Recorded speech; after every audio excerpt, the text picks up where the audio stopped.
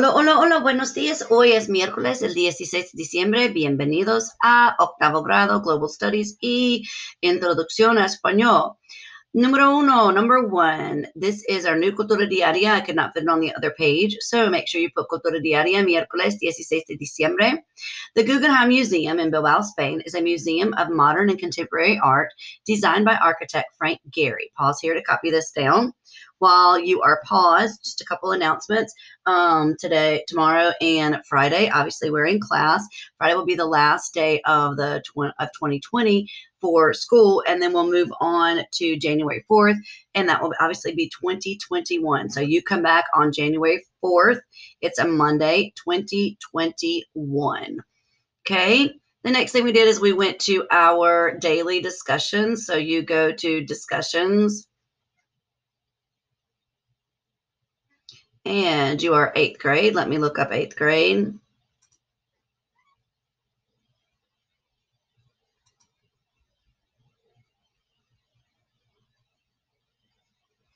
All right, so let me unpin this one. This was yesterday's, and we'll pin this one. So, would you rather have a nose that glows red like Rudolph's? This is obviously not red, but have a nose that glows like Rudolph's, or have pointy ears like an elf, or pointy ears like Grogu?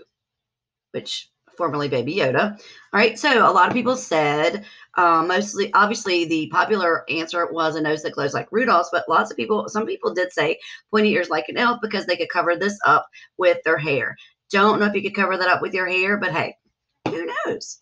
The next thing we did is we went into assignments, and our objective today is to review common vocabulary, target vocabulary that we have went over in this quarter.